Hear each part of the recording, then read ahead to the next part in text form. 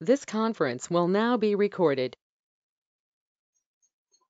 अद्य सोमवासरः अथवा इन्दुवासरः ज्येष्ठ ने आषाढ शु- शुद्ध प्रतिपदा दिनांक 22 जून 2020 चरक सूत्र सन अध्याय 25 शङ्खं चक्रं जलौकान्दमृतघटं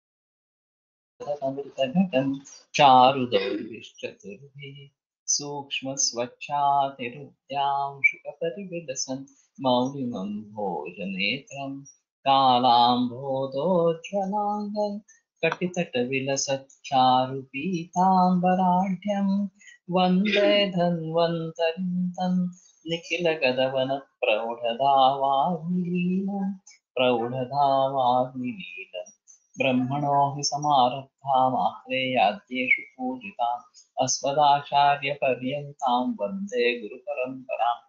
आयुर्वेदरतं वंदे माधवाख्यं महागुरुम्। आयुर्वेदामृतं सर्वं शिष्येभ्यो यः प्रदत्तवान्। द्रष्टा ज्ञानी दृष्टकर्मा कृतकर्मा तथैव च। अध्यापको विषक्श्रेष्ठो महान् संशोधकस्तथा। गुणैरेतैः समुदितैः यत्कार्यं प्रतनोति सः। समृद्ध्यर्थं हि कार्यस्य वयं प्रयतामहे। नमो यस्याः प्रसादात् पुण्यकर्मभिः। बुद्धिदर्पणसङ्क्रान्तं जगदध्यक्षमीक्षते। आत्रेयं प्रथमं वंदे आयुर्वेदजगद्गुरुम् आयुर्वेदामृतं सर्वं गृहीत्वा सुरेश्वरात् अग्निवेशादिकेभ्यो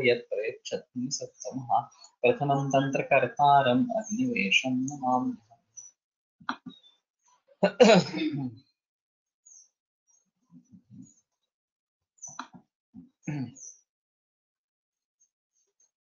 तर्हि येषामेव हि भावानां सम्पत्सञ्जनयेत् नरं तेषामेव विपद्व्याधीन् विविधान् समुदीरयेत्। अयं श्लोकः अत्यन्तं महत्त्वपूर्णः। ये तावत् भावाः एकत्र सम्मिलिताः नरम् अथवा जीवं निर्मीयुः तेषां सम्पत् तत्र निर्मितौ निर्मितौ कारणं तेषां विपत् विविधानां व्याधीनां कारणं रोगाणां कारणम् इति तत्र फलितार्थः अथ अत्रेयस्य भगवतो वचनम् अनुनिशम्य पुनरेव वामथा पाशुपतिः काशीपतिः उवाच भगवन्तम् आत्रेय भगवन् सम्पन्निमित्तजस्य पुरुषस्य विपन्नमित्तजानां च रोगाणां किं विवृद्धिकारणम् तर्हि तत् वचनं श्रुत्वा काशीपतिः वामकः भगवन्तम् आत्रेयम् उवाच। इ- इदं वचनं श्रुत्वा। सम्मद्निमित्तजस्य पुरुषस्य किम् अभिवृद्धिकारणम् एवमेव च विपन्निमित्तजस्य रोगस्य किम् अभिवृद्धिकारणम्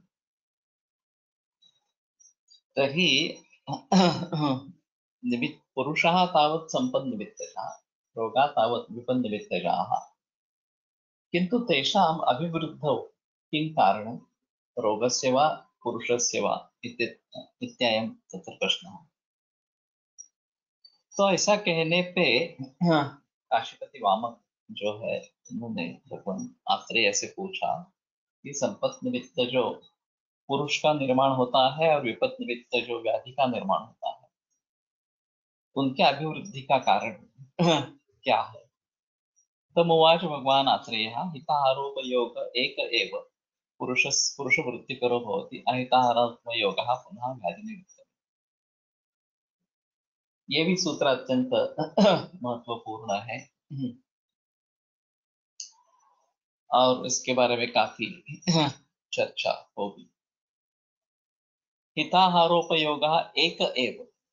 सो हिताहारोपयोग ये एक ही, एक यानी कि एक ही, दूसरा कोई और, दूसरी कोई और चीज़ नहीं, पुरुष वृद्धि करो भवति ये पुरुष वृद्धि का कारण इस प्रकार का है।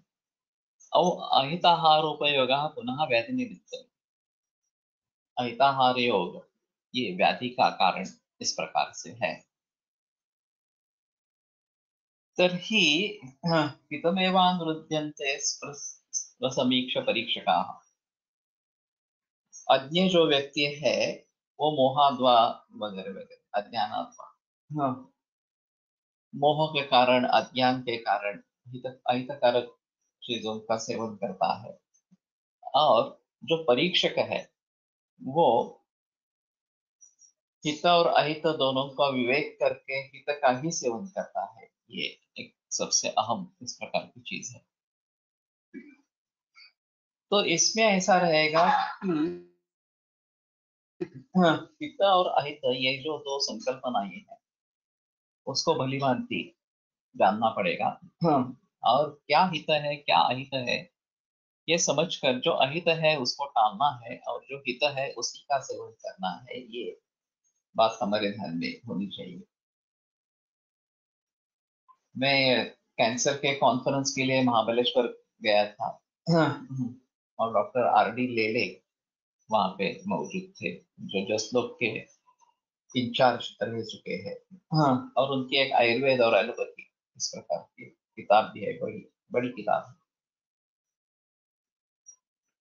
तो उनसे काफ़ी बहस उस समय में हुई और उसके पूर्व एक वाजीकरण के ऊपर एक सेमिनार हाँ। पुणे में हुआ था और ये करीबन 1981 82 की बात है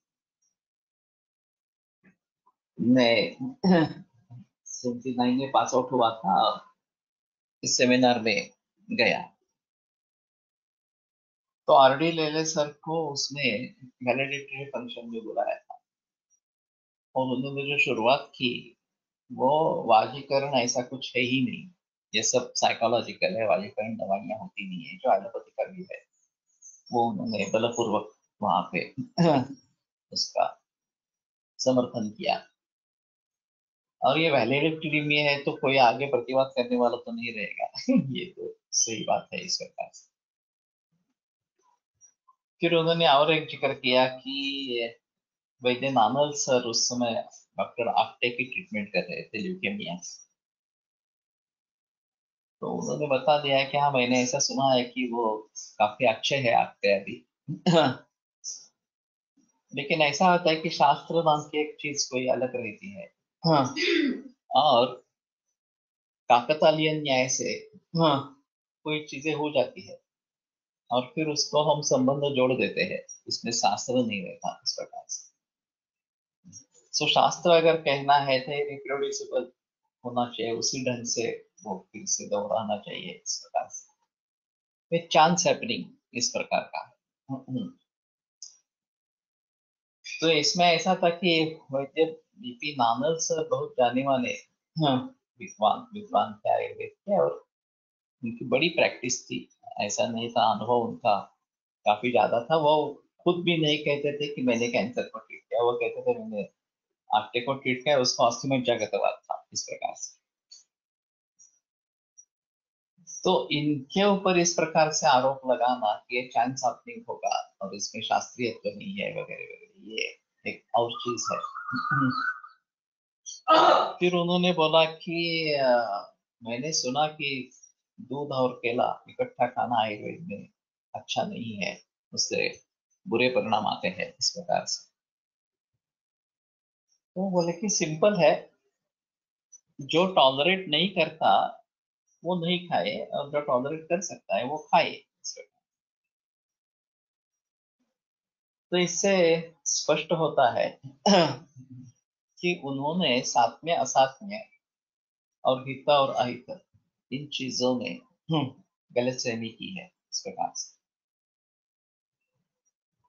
कोई चीज़ अहित होकर भी साथ में हो सकती है, लेकिन ऐसा करने के लिए शास्त्र का निर्देश नहीं है। इस प्रकार की चीज़ साथ में हो भी गई हो तो उससे क्रम से दूर होना चाहिए और हितकारक चीज़ चाहे असात्म्य हो तो उसको साथ में बंधवाना है, ऐसा शास्त्र का निर्देश। तो मेरे मन में उस समय में आया था कि मैं आपको रोज नाले का गंदा पानी पीने के लिए देता हूँ। जब तक कुछ बीमारी होती नहीं है, तब तक आप पियो। अगर बीमारी होती है तो छोड़ दो। इस तरीके का ये है केला और दूध का इकट्ठा खाना, अगर आप मानते हैं कि उससे कुछ होने वाला है और आगे होगा तो छोड़ देंगे। तो ये अजीब चीज़ है इस प्रकार की।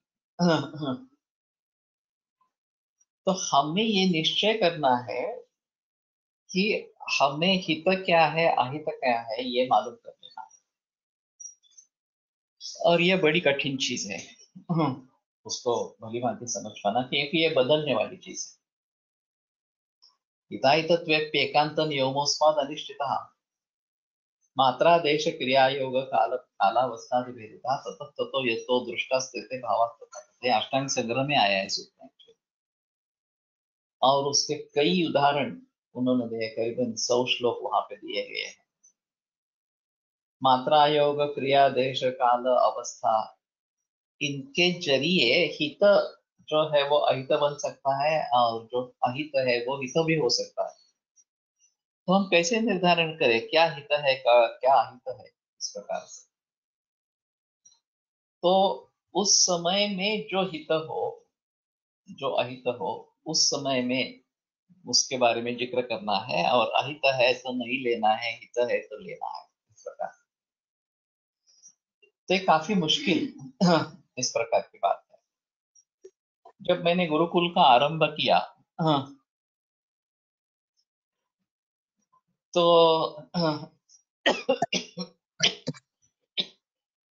हमने पहले मुझे मालूम था कि कोलटकर सर हर बरस चातुर्मास में एक ग्रंथ को पढ़ते हैं।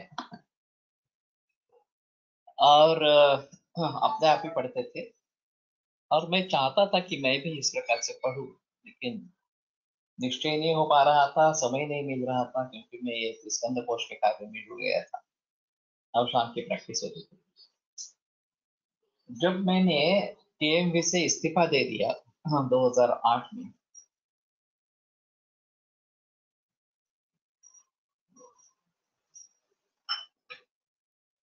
तो मैंने सोच लिया कि हाँ ठीक है, अभी कोई दूसरा व्यवधान नहीं है।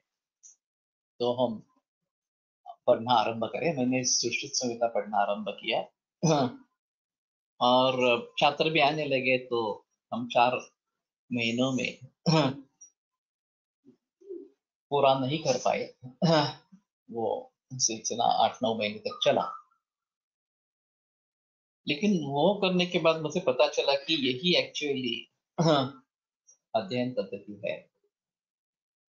और अगर ये करना है तो गुरुकुल पद्धति से ही प्राचीन परंपरा है, उसी के आधार पर हमें आगे बढ़ना करना पड़ेगा।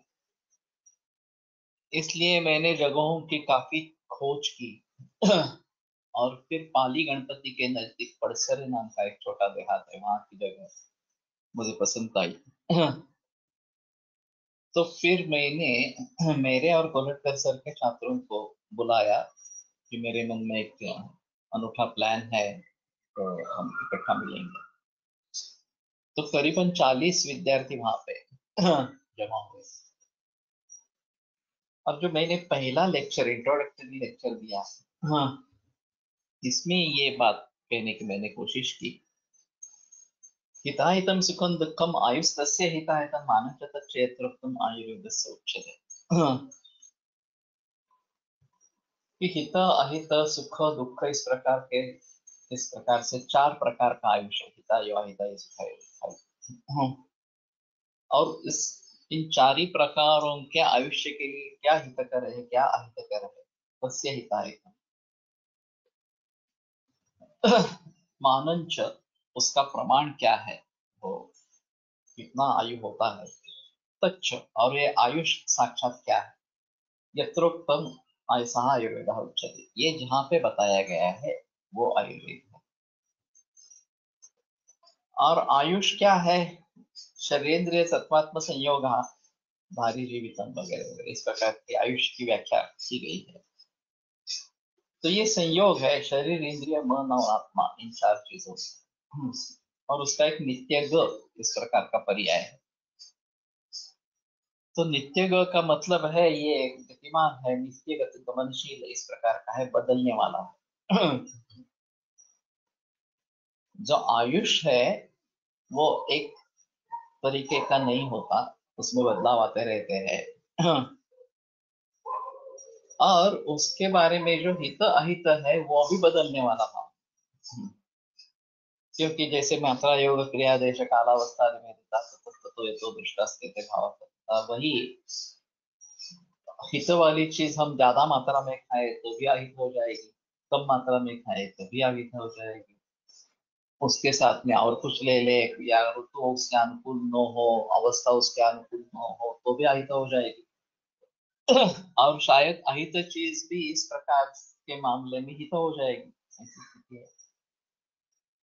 और उसके काफ़ी उदाहरण अष्टांग संग्रह में लिखे गए हैं। तो जिस भाव के बारे में हमें बताना है, वो आयुष भी नित्य गमनशील, नित्य बदलने वाला है और उसके बारे में जो हिताहित है, वो भी बदलने वाला। तो एक बदलने वाले भाव को लेकर, उसके संबंध में जो बदलने वाले भाव है, उनके बारे में जानकारी देना और फिर भी आयुर्वेद को शाश्वत कहना, ये चीज़ कैसे हो सकती है कोई अगर ऐसी चीज़ हो जो बदलने वाली नहीं है, निर्माण ही नहीं हो, उसका हुआ है। और, फिर अंत होने का कोई सवाल नहीं है। इसलिए वो शाश्वत है, जैसे कि आत्मा, काल दिक वगैरह जो द्रव्य है। लेकिन आयुर्वेद जिनके बारे में कहता है, वो तो चीज़ें हैं आयुष, और उसके बारे में हिताहित के बारे में बताना है। इन दोनों बदलने वाले भाव है, और फिर भी आयुर्वेद शाश्वत है। ये जो तीसरे अध्याय में लिखा गया है कैसे हो सकता? तो इसका मतलब ये है हाँ। हाँ अभी तक तैयार निश्चित नहीं हुआ है जब निश्चित हो जाएगा तो ज़रूर बताएँगे। टेलीग्राम ग्रुप में भी आएगा और डीएसपीसी ग्रुप में भी आएगा।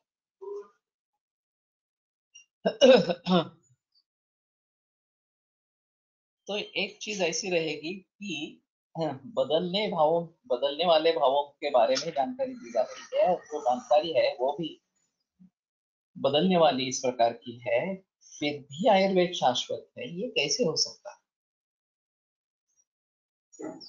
तो हमें ये डिसाइड कर लेना है कि कुछ चीज़ें ऐसी है जो बदलने वाली ही है फिर भी हमें यथार्थ ज्ञान होना।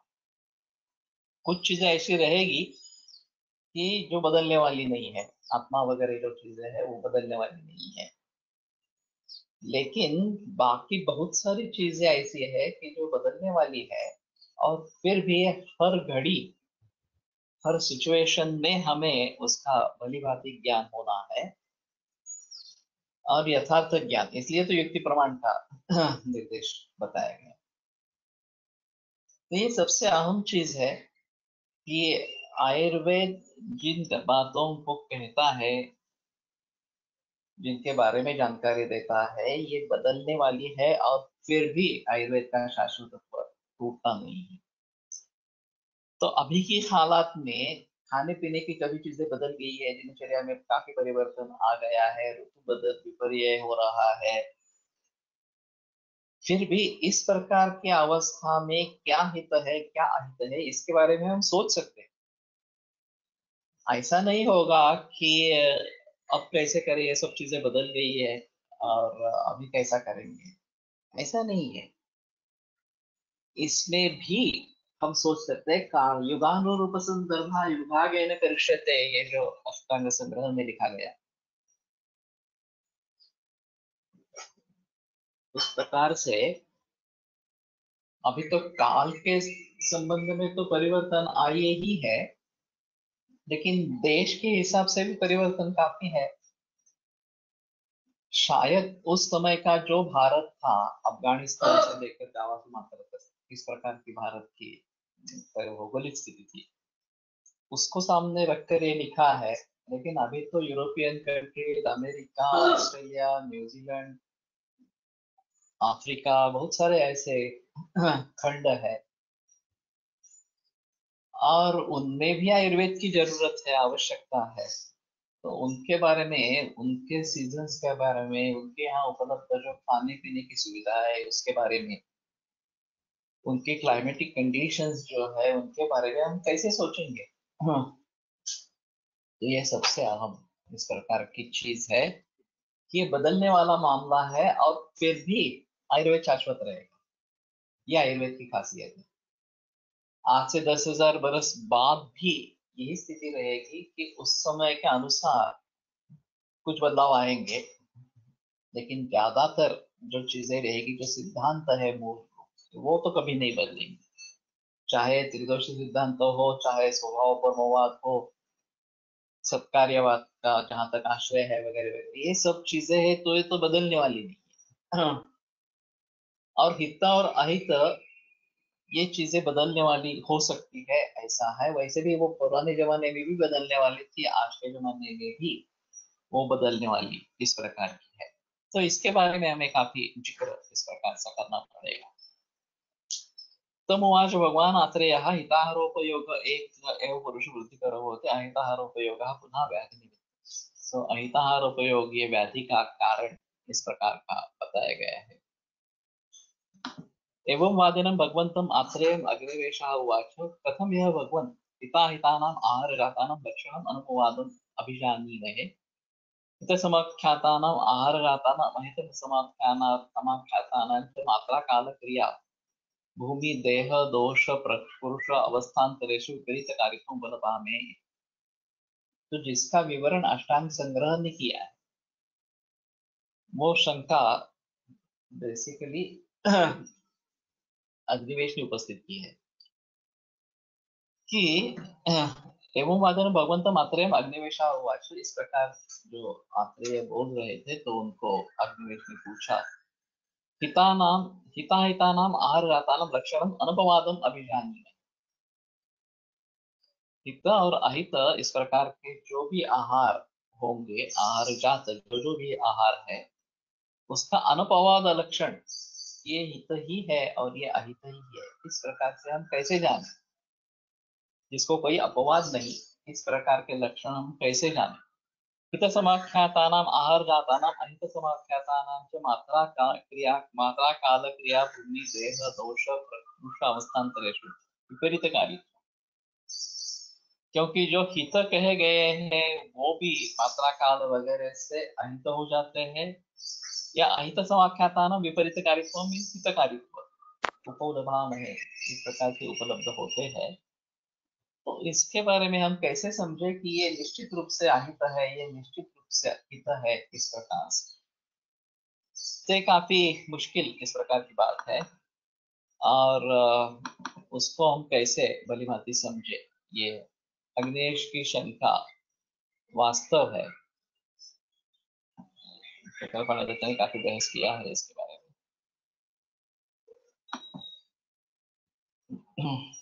सो मात्रा योग क्रिया देश कालावस्था तथा तत्व यथो दृष्टा स्थिति भाव तथा तथा तो इसमें परिवर्तन आता रहता है तो कैसे समझे ये निश्चित रूप से हित है निश्चित रूप से अहित है तम उवाच भगवान आत्रेय यद आहार जातम अग्निवेश, समांश्चैव शरीर धातुं सर्वतो स्थापयति, विषमांश्च समीकरोति इत्येतत् हितं विद्धि विपरीतं तु अहितमिति। इत्येतत् हिताहितलक्षणम् अनुपवादं भवति। ये गुगली है एक्चुअली सीधा सवाल सीधा उत्तर नहीं दिया है, उसका जवाब नहीं दिया है। यद आहार जातम जो भी आहार जात है समांश शरीर धातु प्रकृति स्थापित जो सम धातु है, साम्यावस्था जिन धातुओं के है, उनको निसर्ग की अवस्था में रखता है, उनको सम ही रखता है। विषमांश समीकरण। और जो विषम धातु है, उनको साम्यावस्था में लेके आता है। तत्हितम विधि हितम विधि वो जो आहार जाते हैं, वो हित समझ लेना चाहिए। विपरीत तो अहितम। और उसके विपरीत जो हो जो हाँ, समधातुओं को विषम बना देता है या विषम धातु जो है उनका और बढ़ा देता है या उनका शमन नहीं करता इस प्रकार का। वो हिताहित लक्षण अनपवाद। ये हित और अहित आहार का अनपवाद लक्षण है। और सिर्फ़ ये आहार के ही बारे में लागू होगा, ऐसा भी नहीं है वास्तव में। जो भी चीज़ इस प्रकार से धातु वैषम्य को दूर करती है या साम्यावस्था को स्थापित कर देती है निश्चित रूप से, उसमें परिवर्तन नहीं आने देती, वो हित है। और जो भी चीज़ समधातुओं को विषम में परिवर्तित करती है या विषम धातुओं को और वृद्धि करती है, उनकी रोग की निर्माण की प्रक्रिया करती है, वो निश्चित रूप से अहित इस प्रकार के, इस प्रकार से समझ लेना चाहिए। तो ये टेक्निकल है ज़्यादा।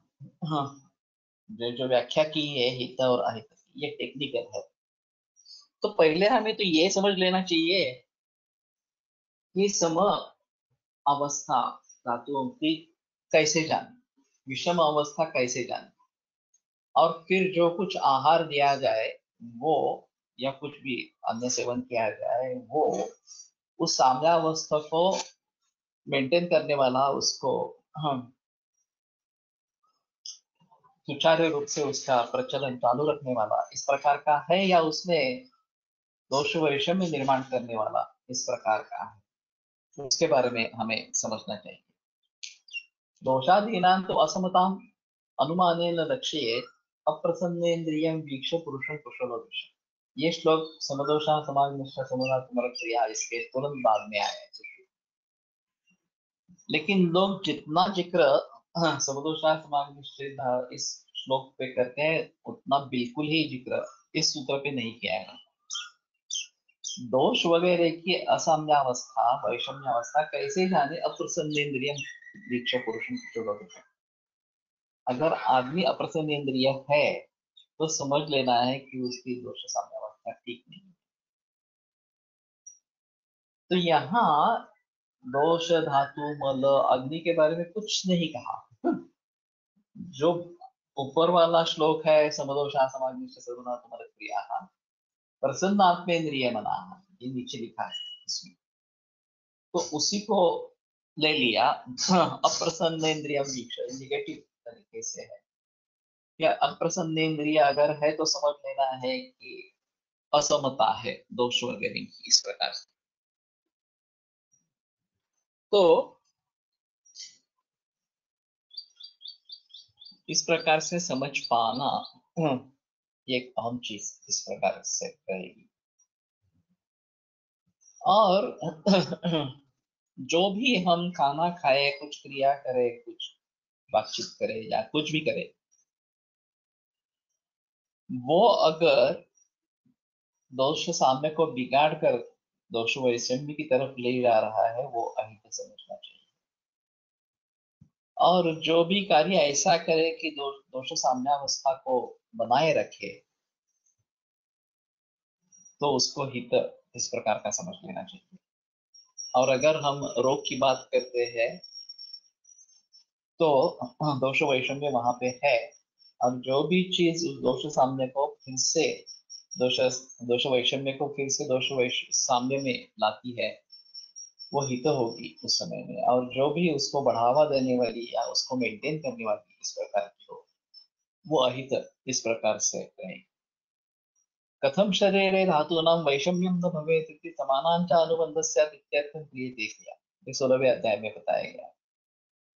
कि धातुओं का वैषम्य कैसे निर्माण न हो और समधातुओं का अनुबंध कैसे बना रहे, चलता रहे, इसके लिए चिकित्सा की जाती है। तो एक मैंने अजीब किस्सा सुना था। अंतर अंतरकर जी के बारे में। एक छोटा लड़का ट्रीटमेंट के लिए आया था। और करीबन आठ नौ बरस का था। हाँ। तो वो उसके पीठ पर थोड़ा सा बैठ करके हाँ, उसको कॉन्फिडेंस में लेके पूछ रहे थे क्या खाते हो? कैसे खाते हो? और फिर डायग्नोस कर दिया कि उन्होंने कुर्मी रोग है और हाँ, हाउस मोम को कह दे कि ये दवा दे दो। तो कोई इंटरनी था, वो उसके पीठ पर थापने लगा। तो मैंने पूछा, क्या कर रहे हो? तो बोले, नहीं, तुमने कृमि का डायग्नोसिस पीठ पर हाथ रख कर किया। इसलिए मैं देख रहा था। तो ज़ोर से हंस पड़े। कि क्या समझना है, क्या नहीं समझना है, ये भी तुम समझ नहीं पा रहे हो।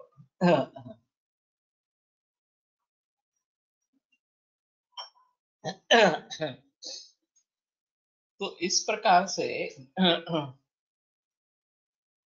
हित क्या है, अहित क्या है, ये समझना और कैसे समझे, ये अजीब चीज़ है। हमारे यहाँ उपशय और अनुपशय, ये दो भाव रोग के कारण के लिए बताए। रोग के विज्ञान का कारण, रोग के ज्ञान का कारण के लिए बताए और वैसे उनके ऊपर ज़्यादा ज़िक्र नहीं किया इतना प्रैक्टिस में। कुछ लोग ऐसे है, आसीनो लोग अभिनंदती वगैरह, इस प्रकार से उपशय तमक श्वास के बारे में बताया गया है। तो जहाँ ग्रंथों में इस प्रकार का निर्देश है, इसको देखना है, वो एक अलग चीज़ होगी लेकिन अगर हम लोगों से पूछे कि तुम्हें किससे फ़ायदा होता है या रिलीफ मिल जाता है और किससे तकलीफ़ बढ़ जाती है इस प्रकार से तो कभी कभी अचानक कुछ चीज़ें सामने आती है जो जिसके बारे में हमने सोचा नहीं तो मैंने एक केस बहुत पीछे बताई है, मैंने अनेक बार बताई है, शायद इस ग्रुप में भी बताई होगी। लेकिन एक सत्ताईस वर्ष की औरत आई थी, पीठ में बहुत दर्द था। और एमआरआई हुआ था, उन्होंने बताया दिया था कि ऑपरेशन की ज़रूरत है। मैंने एक सीधा सा सवाल पूछा कि, ये दुख कब बढ़ जाता है? पीड़ा जो है, वो कब बढ़ती है? तो उसने बता दिया जब मैं सोचती हूँ तभी बढ़ती है। तो मैंने पूछा किस बारे में सोचती हूँ? तो उसने उससे हकीकत बताई। ये बताई थी केस में। हाँ। तो वो खोजा कास की थी। हाँ। और बारहवें बरस में शादी हुई। तेरहवें बरस में पहला बच्चा हुआ। चौदहवें बरस में दूसरा बच्चा हुआ। और सत्रहवें बरस में टिबेक्टमी करके तलाक दे दिया और उस शोहरत की वो पांचवी पत्नी थी। तो मैंने पूछा, मैंने देखा कि रेडियस अल्मा इसमें फ्रैक्चर था और वो टेढ़ा ही हो गया था। मैंने पूछा, ये क्या हुआ? तो वो बोली, नहीं, वो बहुत पीटता था, ये हड्डी टूट गई उसको कुछ किया नहीं है, ऐसी दुरुस्त हो गई टेढ़ी दुरुस्त हो तो उसने कितना दुख सहन किया होगा? इससे पता चलता है। फिर मैंने कहा कि ये तो ठीक है अभी ये पुरानी बात हो गई। सत्रह बरस में तुम मायके चली आई और पढ़ी लिखी तो कुछ थी नहीं। तो कहीं पे जॉब मिल गया। लेबर करके और वो अपनी ज़िंदगी बिता रही थी। तो अभी ऐसा क्या हुआ कि तुम्हारा ये दर्द शुरू हुआ? तो उसने बोला कि मैंने दोनों लड़कों को उसके पास छोड़ दिया था, पति के पास छोड़ दिया था। और कुछ इस प्रकार का उत्सव था। तो उसमें वो मुंबई में गई थी और उसने लड़कों को देखा। तो फिर उसको ऐसा लगा कि नहीं, एक तो बच्चा मेरे साथ पास होना चाहिए था। और इस विचार से पृष्ठ शुरू हुआ। तो मैंने कहा, ठीक है, कारण तो तुम्हारा स्पष्ट है। तो हमारे हिसाब में बात की वजह से है, हम कुछ स्नेहन स्वेदन भीतर दवा का इस्तेमाल करेंगे, लेकिन मूल रूप से विचार नष्ट होने चाहिए, तभी तुम ठीक हो जाओ तो वो बोली नहीं मैं विचार कर करके थक गई हूँ। अभी मेरे सामने कुछ आ, आ नहीं रहा क्या हो सकता है इस प्रकार से? तो तुम ही कुछ सुझाव दे दो। हाँ। तो मैंने थोड़ी जानकारी इकट्ठा किया और उसके सामने तीन विकल्प रखे।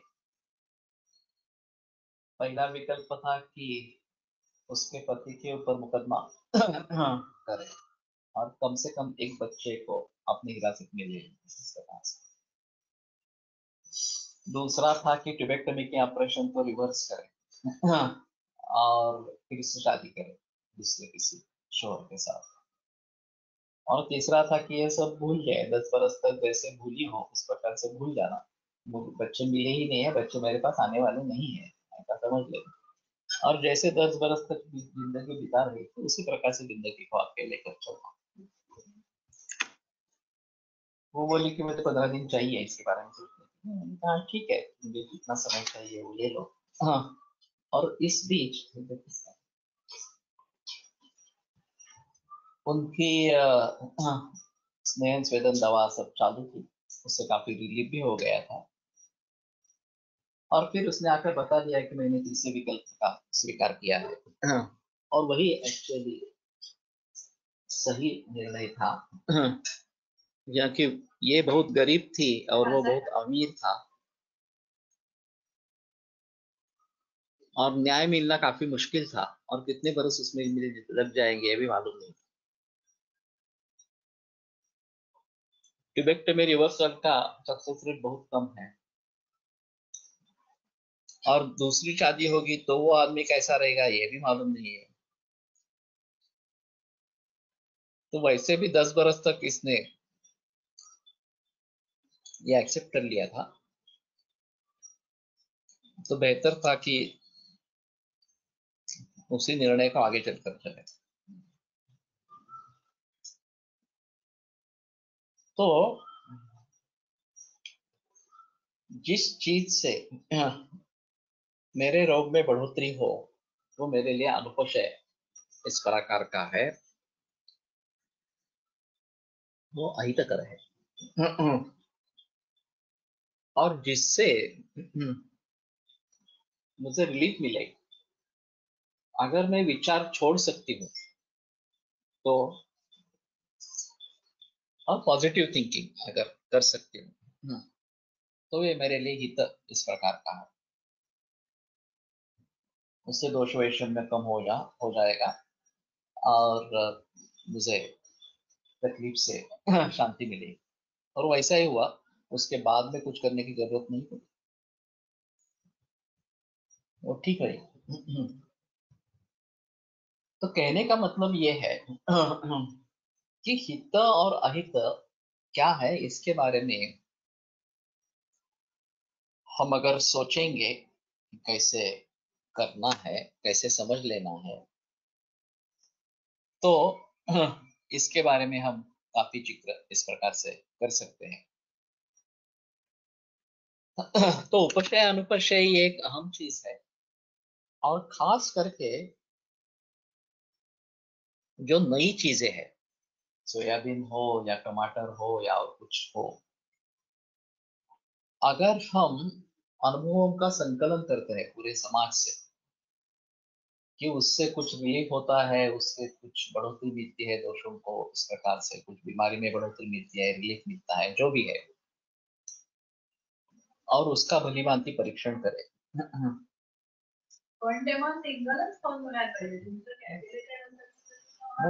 सिंगल स्पॉन तो शायद हमें कुछ पता चले कि उसके गुणकर्म किस प्रकार के हैं इस प्रकार से। तो हित और अहित इसका निश्चय करना काफ़ी मुश्किल इस प्रकार का काम है। और यह टेक्निकल व्याख्या है कि समुदातुओं का अनुबंध इससे कायम रहेगा? और विषम धातुओं का अनुबंध टूट जाएगा और साम्यावस्था प्रस्थापित होगी। वो हित कहने लायक इस प्रकार की चीज़ है। और यह केवल खाने पीने के बारे में नहीं है, आहार के बारे में ही सिर्फ़ नहीं है। ये बाकी चीज़ों के लिए भी है कोलट कर सर जैसे कहते थे कि गुस्सा आना। ये अच्छी बात है या नहीं बात है? अच्छी नहीं है। हित है या अहित है? इसके बारे में सोचना। लोग उसका समर्थन करते रहते करते रहते हैं कि गुस्सा आना हाँ, सही है। तुम भी अगर तुम भी अगर उस अवस्था में होते तो मैं गुस्सा आ जाता तो बार बार कोलेट कर्सर ज़िक्र करते थे ऐसा नहीं है वो हित है या अहित है? इसके बारे में सोचना और अगर अहित है तो उसको छोड़ना या उसका भली भांति इस्तेमाल करना है। अगर हम चाहते हैं कि आयुर्वेद को दूसरा भाव न मिले, वो प्रस्तापित हो जाए मेडिकल सिस्टम की हैसियत से, और ये नहीं हो रहा है अभी तो गुस्सा आना स्वाभाविक है। लेकिन सिर्फ़ गुस्सा आने से कोई बात नहीं बनेगी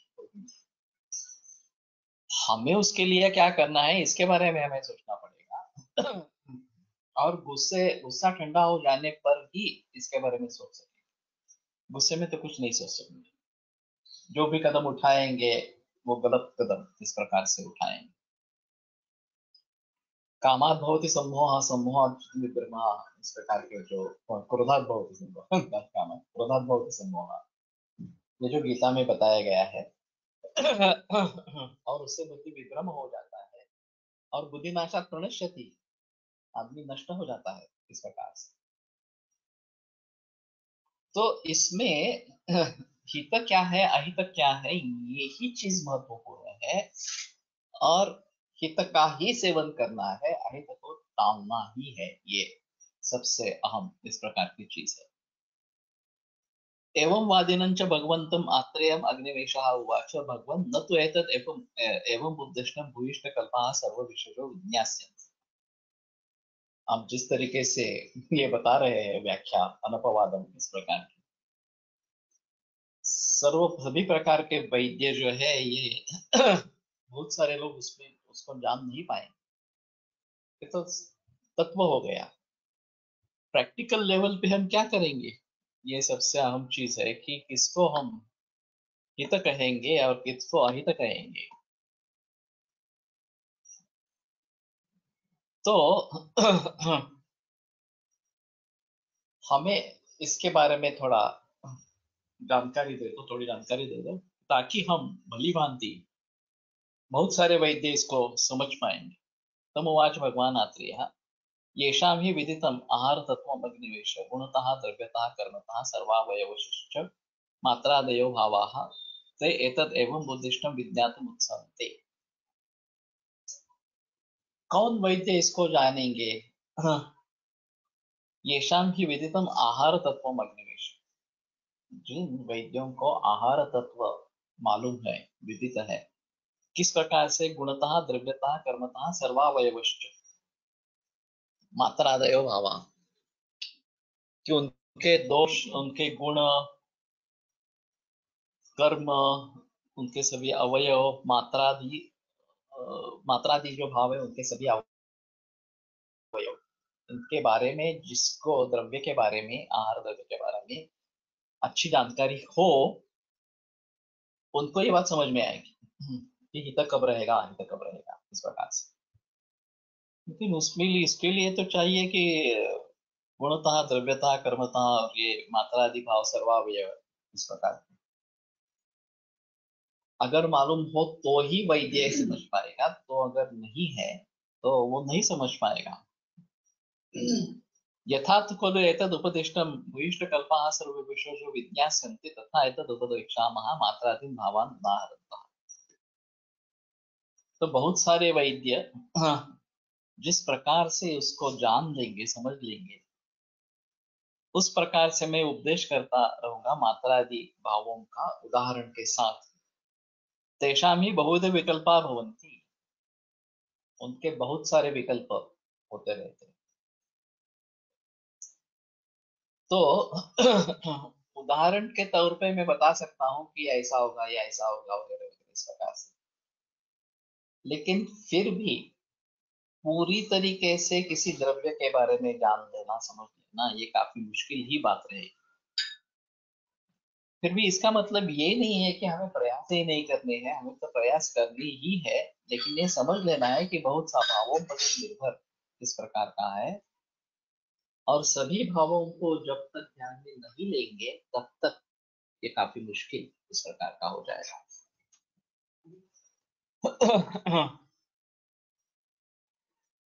आहार विधि विशेषांस्तु खलु लक्षणतः च अवयवतश्च अनुव्याख्यास्यम्। आहार विधि विशेष जो है वो लक्षण और अवयव। उनके हिसाब से हम बताएँगे इस प्रकार से। तो जिस प्रकार से बहुत सारे वैद्य इसको जान सकेंगे, उसके बारे में मैं जानकारी दे दूँगा। और ये बहुविध विकल्प इस प्रकार के हैं।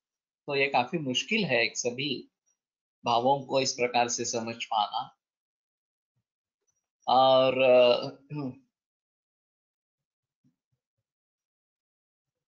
फिर भी हमारी कोशिश रहेगी कि जहाँ तक मैं विवरण कर सकता हूँ वहाँ तक मैं हाँ, उसके बारे में बताऊँगा। आहारत्व आहारस्य एक विधम अर्थाभेदा।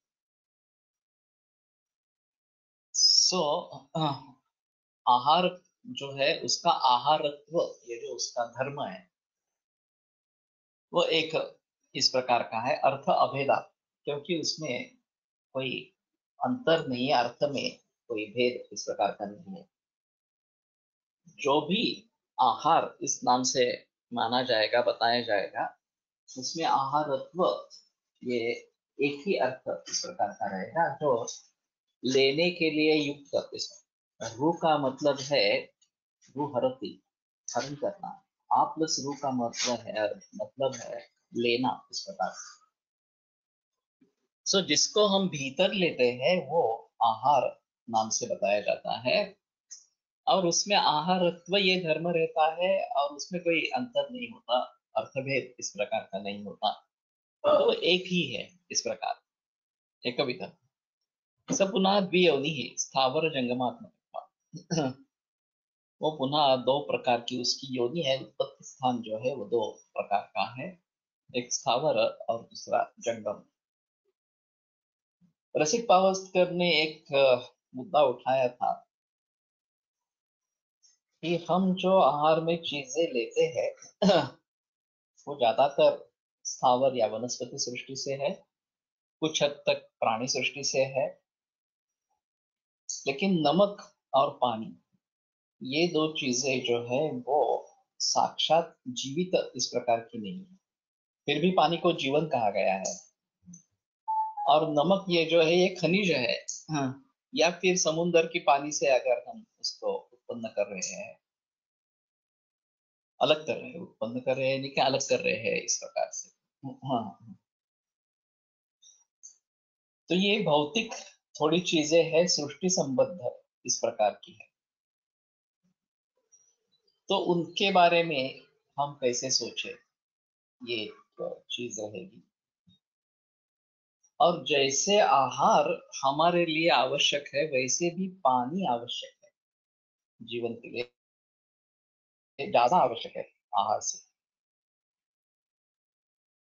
तो शायद उसका सचेतन से संबंध न होते हुए भी उसको जीवन कहा गया है।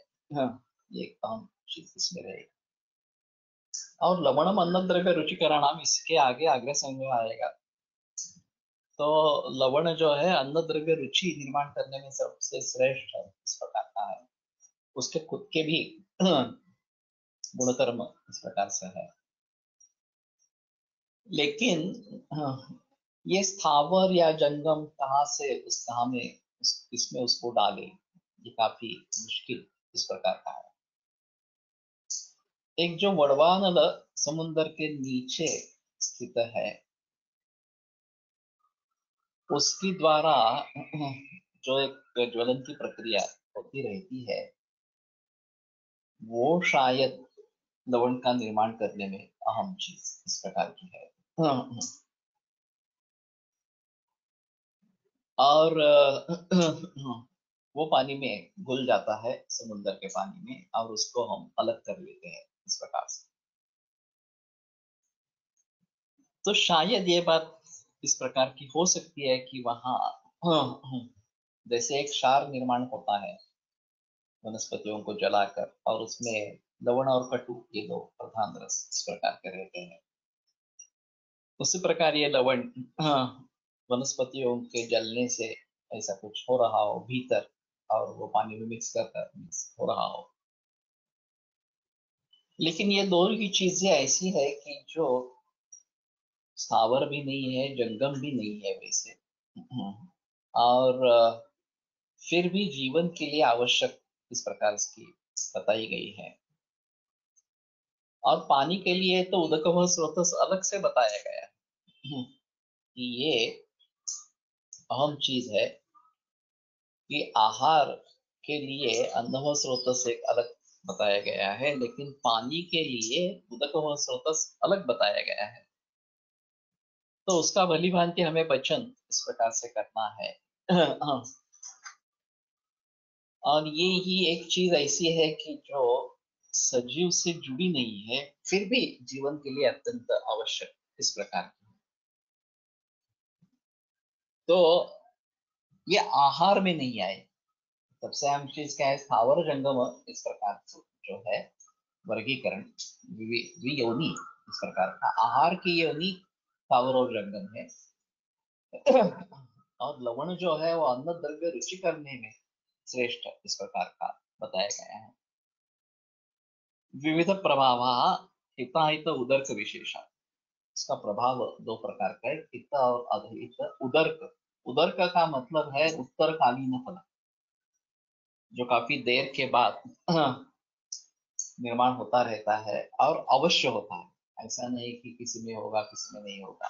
उत्तरकालीन फलम इस प्रकार का उदर्क के बारे में बताया गया तो हित और अहित इस प्रकार का उदर्क बताया ये बहुत देरी के बाद, देर के बाद हमें समझ में आएगा कि हित था अहित था इस प्रकार ये काफ़ी मुश्किल है।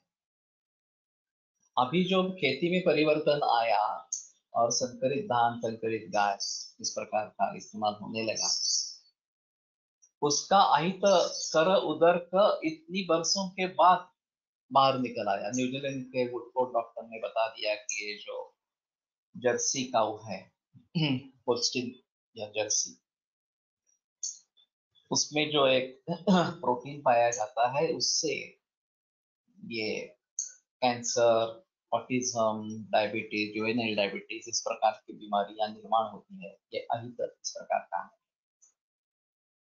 तब तक तो लोग उसको दूध ही समझकर पी रहे थे, आज भी पी रहे हैं। हाँ। तो इस प्रकार का अहित उदर का काफ़ी वर्षों के बाद भी निकल आ सकता है। तो इसलिए हिताहित उदर का विशेष, ये एक बात हम इसमें बताई गई है।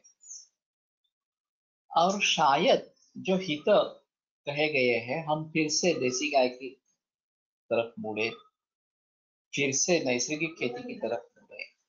और फिर 40-50 वर्षों के बाद हमें पता चले कि हाँ यही हित है जिसको हम हित समझकर चल रहे थे ये संकरित धान और संकरित पशु।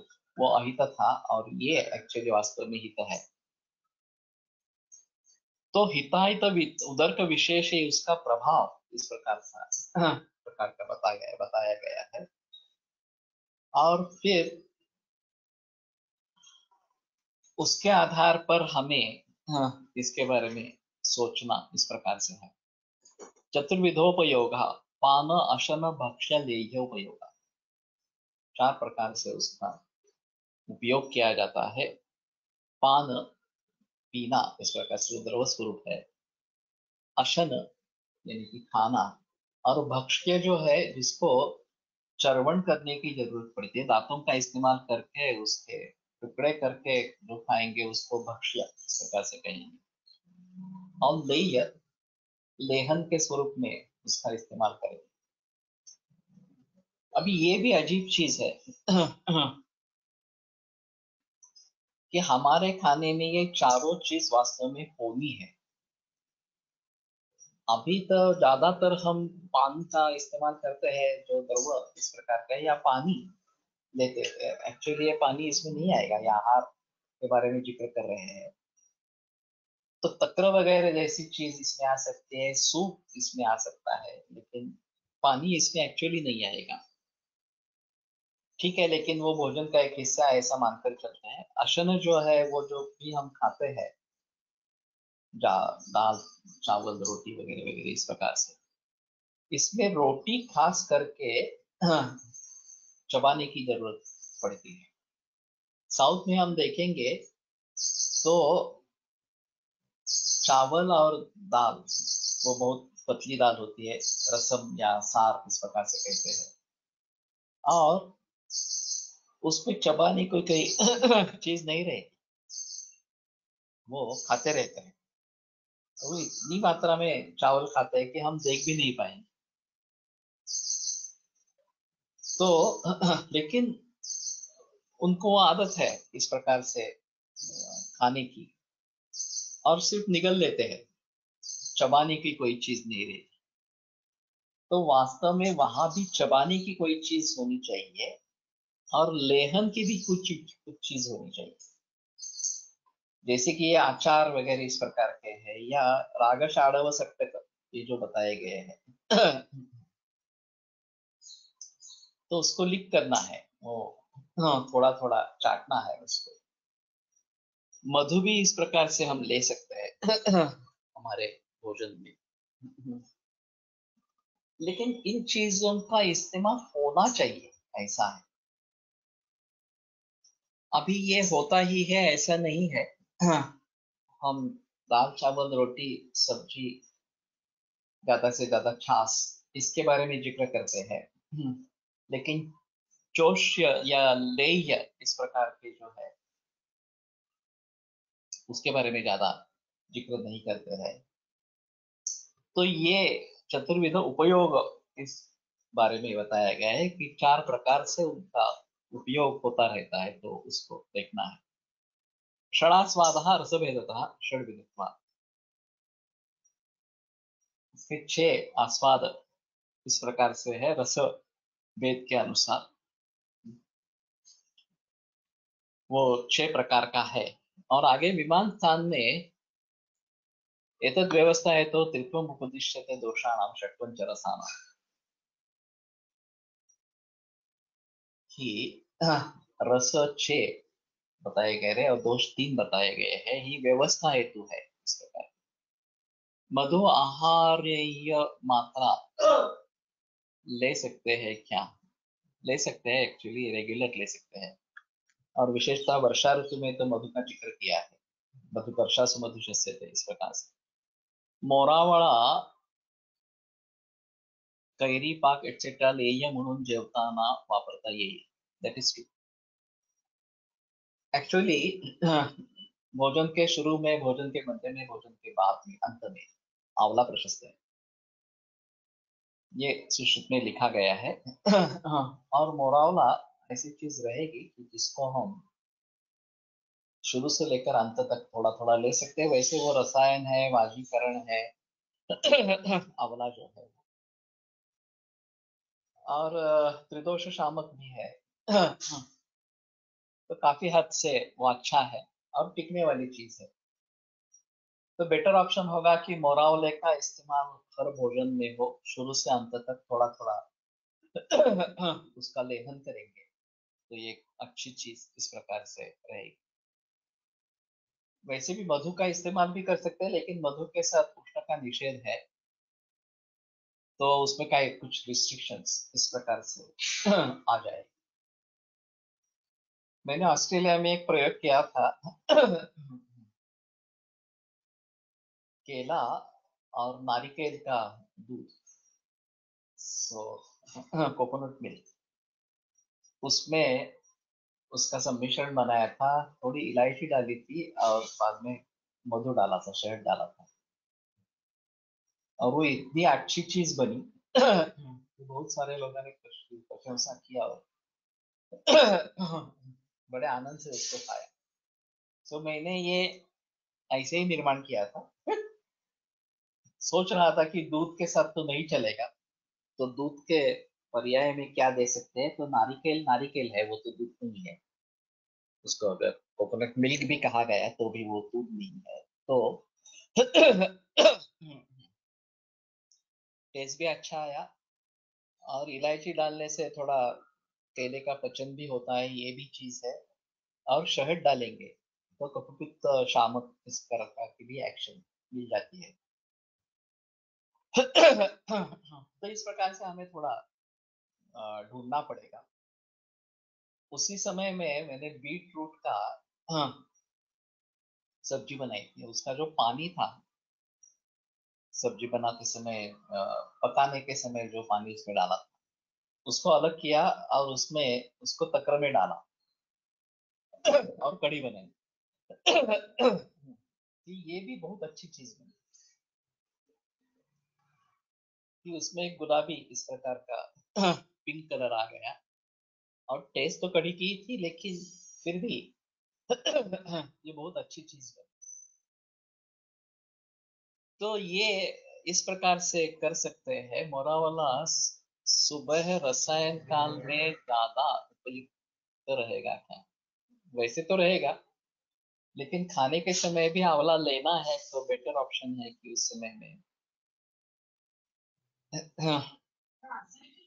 केले का हाँ?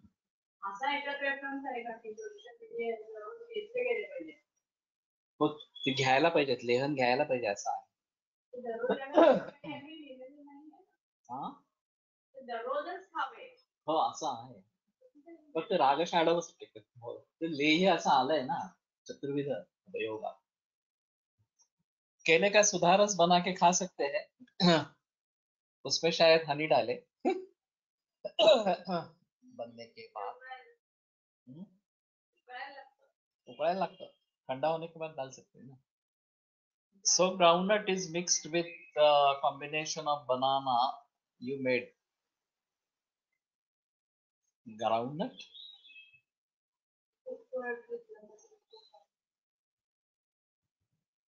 नहीं ग्राउंडनट का नहीं बताया बताया मैंने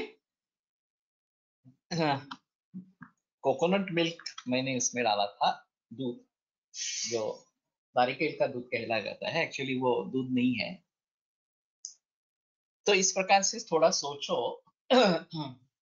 कि च्यवनप्राश लेने में बेहतर है सुबह। और खाना खाते समय मोरावला ले लेंगे तो चलेगा। और इस प्रकार के राग शाड़व तत्व के बताए गए हैं। फ्रूट्स के विविध प्रकार से बनाए गए हैं। तो उनके बारे में सोचो कि ये किस प्रकार से हम इसको इस्तेमाल में ला सकते हैं। तो बेटर ऑप्शन है। दाया इज़ मोस्टली मधुर अम्ल रस अम्ल मोरावड़ा कैरी पाक ये ले सकते हैं उसमें कोई प्रॉब्लम नहीं वैसे पके हुए आम का भी अच्छा लगता है। मुरम्बा इस प्रकार से कहते हैं वो।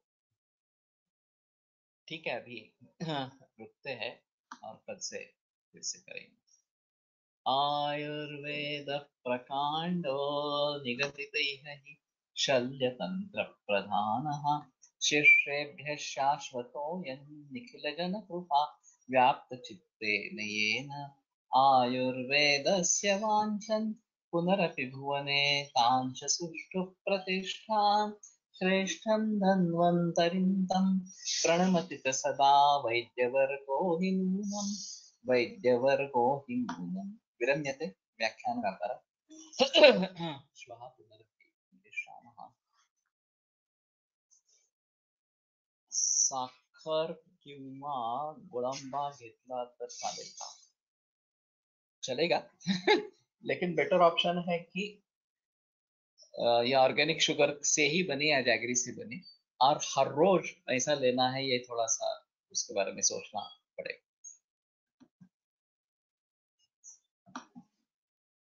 हम्म।